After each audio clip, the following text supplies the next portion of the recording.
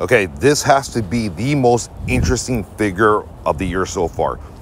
I, I started downloading the pictures to do a video and I looked carefully. I'm like, okay, it's Doctor Doom kind of medieval time theme, Doctor Doom, but I'm like, the red and the emblem in the middle. I'm like, wait, wait a minute.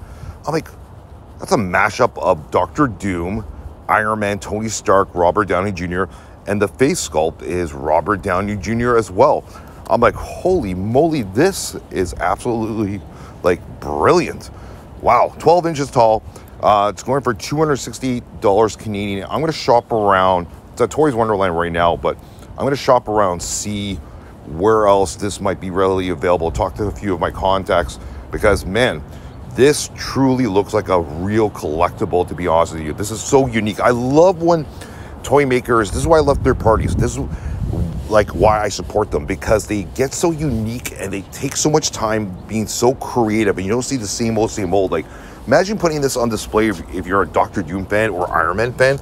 Like, this will go great with your Hot Toys Iron Man, Doctor Doom, you know, 12 inch scale, even if you have a Mezco at 6 inch, whatever. This looks absolutely amazing. I think this is a certainly a must have.